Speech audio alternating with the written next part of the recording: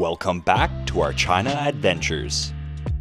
If you've seen my last video, then you know our journey now brings us to Beijing. We flew in late last night and didn't film our departure in Xi'an or arrival here in Beijing. So, apologies for the lack of airplane or airport footage. But here we are, bright and early, ready to experience Beijing. Let's see where the day takes us. On the hunt for some food.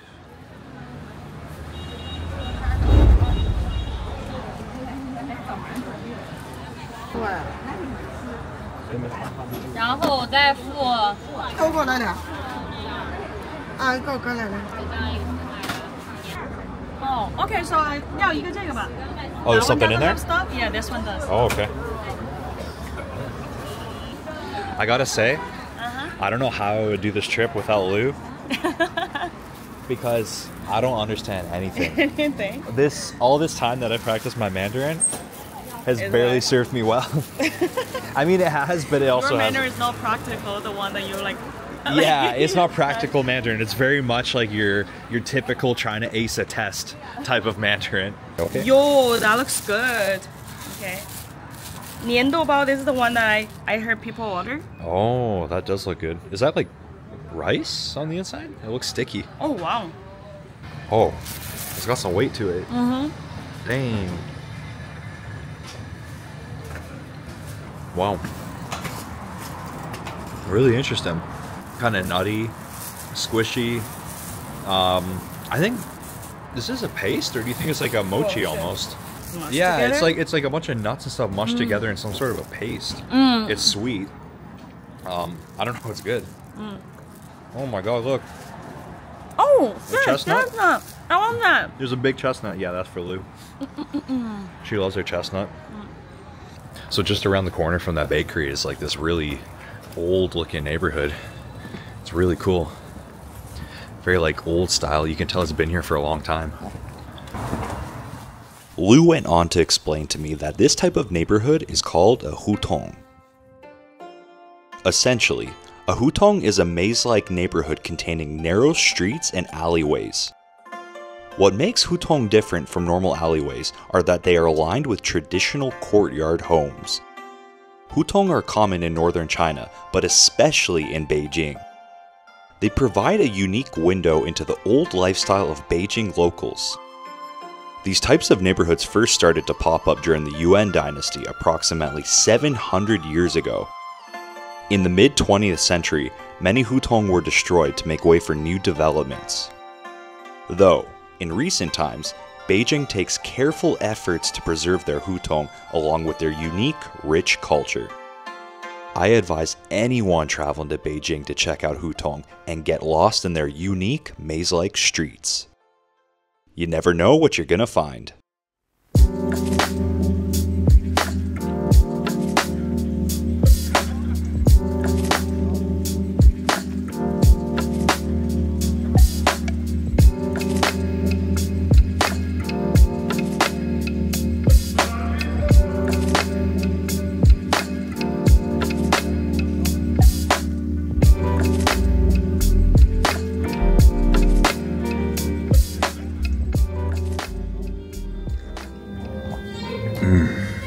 Oh, that's excellent.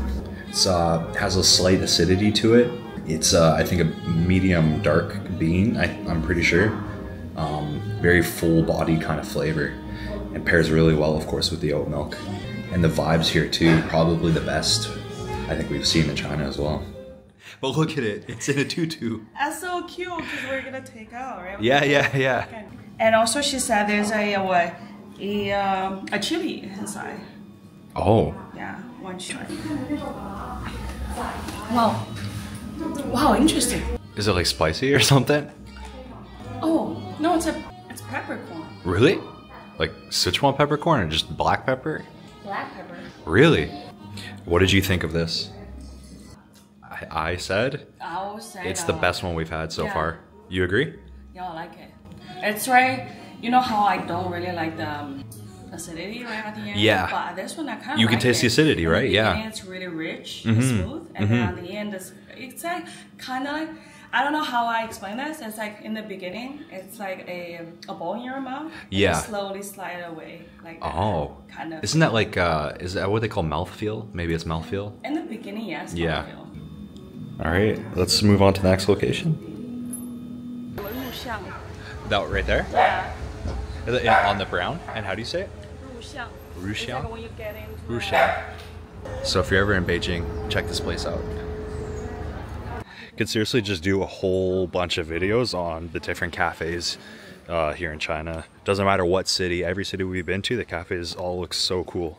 Coffee's been hit or miss, I think, but uh, when it's good, it's good.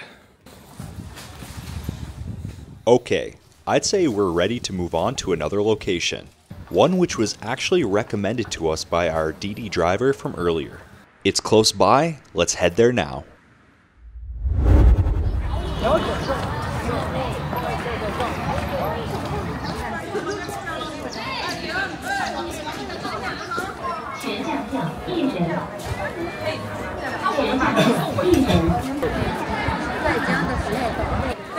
You know what? I have to say, oh, watch out, they're taking a photo. I have to say, everything we've seen here is honestly so beautiful. But you're still the most beautiful thing here. I no. I love you. And sorry, I didn't mean to call you a thing, but these are things, so I just said thing. Now that I'm done being a cheese ball, let's have a look around and find out exactly what we're seeing here.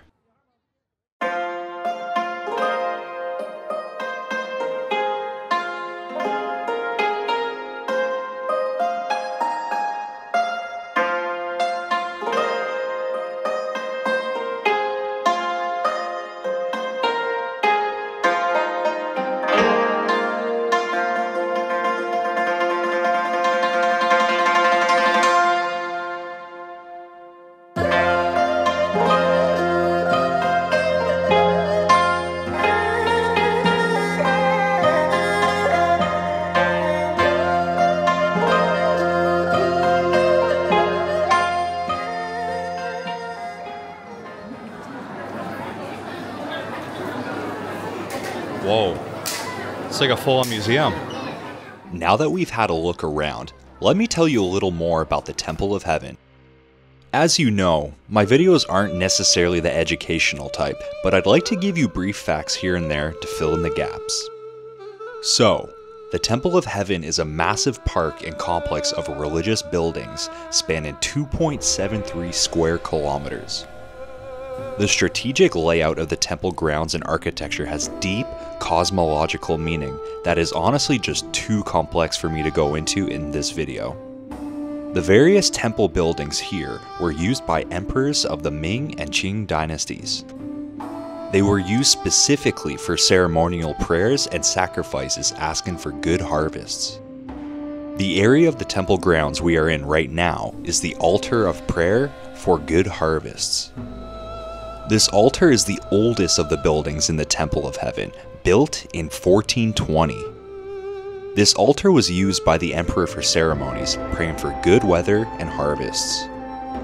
I think that's enough for now, but I'll pop in later with some more brief facts when we visit other parts of the temple.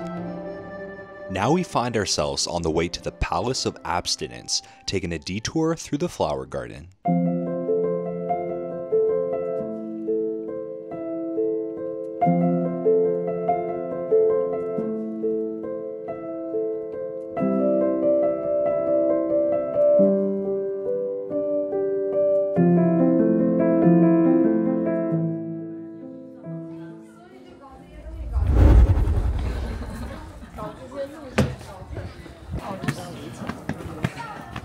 Okay, so what exactly is the Palace of Abstinence? First of all, the Palace of Abstinence lies next to the west gate of the Temple of Heaven and south of the flower garden we just walked through. It is surrounded by two outer walls, a moat, and contains a bell tower, palace of rest, and beamless hall.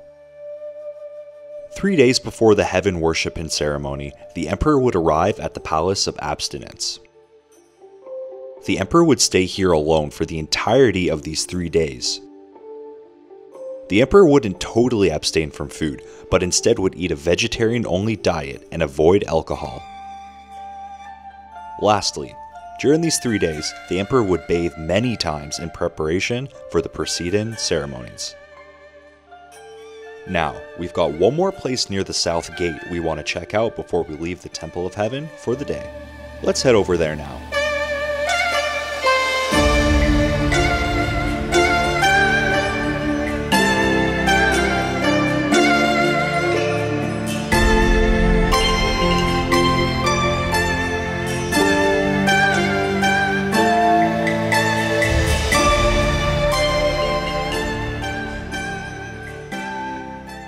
Constructed in the year of 1530, this is the circular mound altar. Every year on the day of the winter solstice, the emperor would offer sacrifices here. Most of the sacrifices were burnt in the green glazed stove, beginning with a shaved and washed calf. The sacrifices were offered to heaven as thanks, but also as a prayer for a good future. Oh, okay. The green one. Yeah, the green one. Alrighty. So we are now done at the Temple of Heaven. We were here for how long? Maybe like five hours? Yeah, I think so. Yeah, we were there for almost five hours. Um, but that was fun. It was very, uh, you know, there, another historical type of, I guess, touristy activity. Kind of like a lot of things we did in Xi'an, but I don't know, it's just really cool. There's so much intricacies that go into all this stuff. A lot of feng shui. Yeah.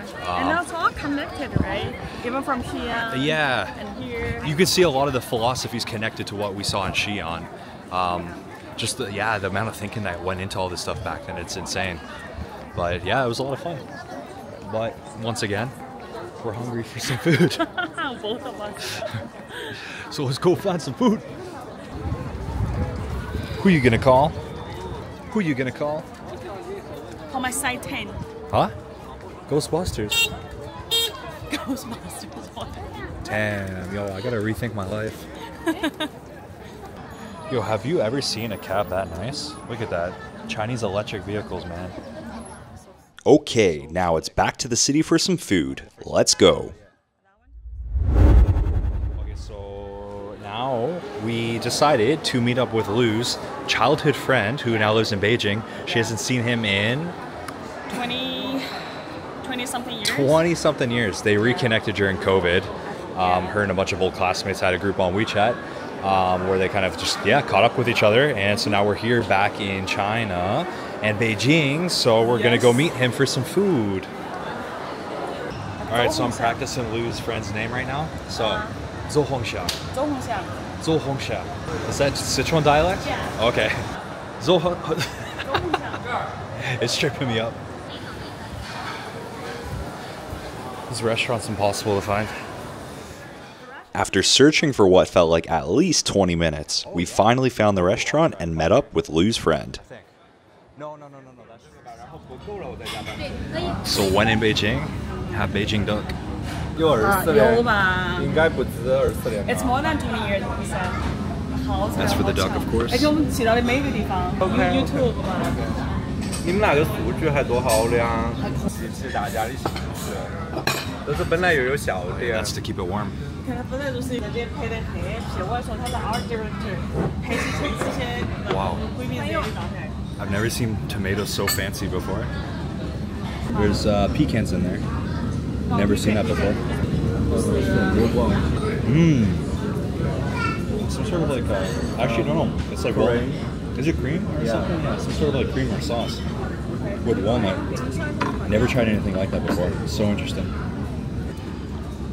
This is my em- embarrassing construction of this Beijing duck. Burrito? Like that. Run, run. Hey, I can see you judging me. No, I didn't. Eat the whole thing. Mmm. Tang da. Oh, so good. It's like salty and sweet, right? Yeah. More salt, more salty than sweet, but like the right amount of like sweetness, I think. 照片。And so, we continued to eat to our heart's content. And even after we were done eating, we ate even more. The duck was amazing, but Lou and her friend being from Chongqing, we needed something spicy to top up our stomachs. We walked around the mall for a little longer, and I miraculously found a pair of Li-Ning shoes in my size. This was an ongoing endeavor I didn't show you in my other videos, but man, men's size 12 or 13 US is hard to find in China. With that all being said, that's all I have for you in today's video. I'm really happy with all we were able to explore today. Going with the flow and not overplanning always results in an adventurous time. I still have one more Beijing video on the way, so please stay tuned.